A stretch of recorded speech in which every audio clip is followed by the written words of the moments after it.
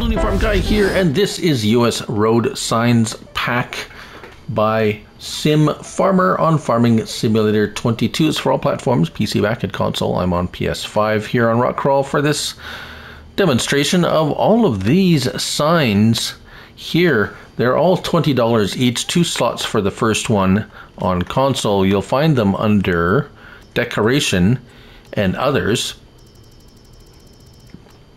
And here they all start here. There's quite a number of them all in here, and we're actually just going to take a look at them. We have directional signs, do not enter, stop signs, deer signs, be prepared to stop, hill, narrow bridge, uh, the no trucks. Oh, no. Oh, you can move them.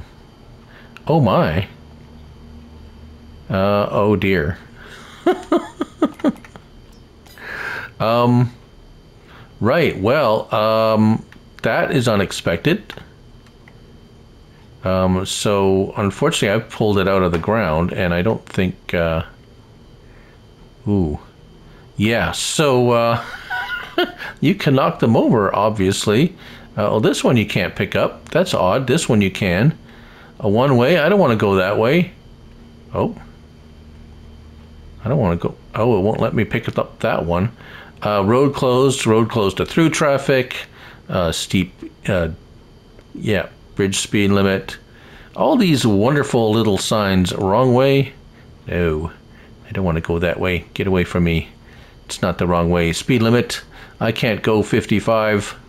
Oh, that one's stuck. Oh, it has a. oh, can I? Can I actually pick it up? Nope. It's it's bolted to the ground.